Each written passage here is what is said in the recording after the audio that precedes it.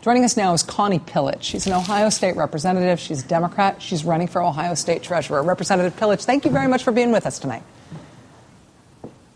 Well, I, I, really appreciate joining you and letting the world know about the right wing attacks on women's health in Ohio. Well, you know, Governor Kasich, he could have vetoed these uh, the abortion amendments in the budget if he had chosen to. He still could have signed the overall budget, but not used the budget to advance all this anti-abortion legislation. Did you expect that he would veto any of them, or do you think he was in on this from the beginning?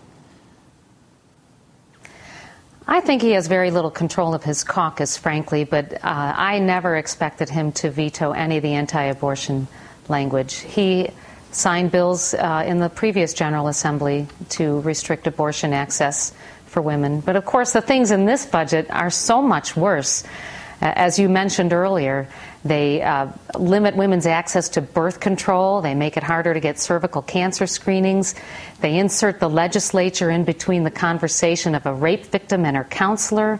And they mandate uh, expensive and unnecessary medical tests on women. It's just atrocious. Was there an advantage for the Republicans in putting this stuff into the budget instead of moving it as normal legislation? They've moved a lot of other anti abortion measures as standalone legislation, but this ended up in the giant budget bill. Why strategically did they do that?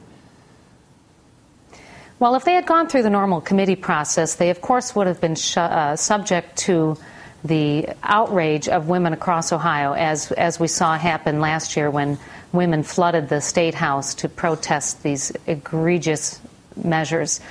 But to put something as extreme and outrageous as eliminating birth control and cervical cancer screenings, I don't see how that could have survived public scrutiny in any kind of open process. So they had to slip it in Basically, they use the budget as a dumping ground for all these assaults on women's health.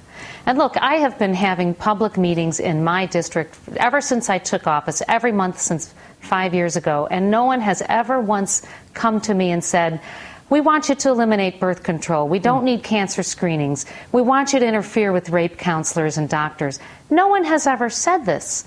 And I think this is why people are so frustrated with government, because they, they send me to Columbus to work on jobs and education, and what they get is this bizarre right wing extreme fringe agenda to assault women's health. As, as, far as I understand Ohio law, these specific measures can't be put up for recall the way that the union stripping bill was put up for recall a couple of years ago because they are part of the budget. Because of that, because of the way they passed these, they not only avoided scrutiny in getting them into law in the first place, but as far as I understand it, they've they also have avoided the threat of of recall here. If that is the case, what happens next? What sort of political consequence uh, did you and other Democrats hope to hope to mete out in response to this? Well, you're very correct in saying that we cannot uh, exercise our right to referendum on these issues because they're in the budget bill. But going forward, the best bet is uh, for Democrats to take over all the statewide offices, and frankly, that's why I'm running for state treasurer.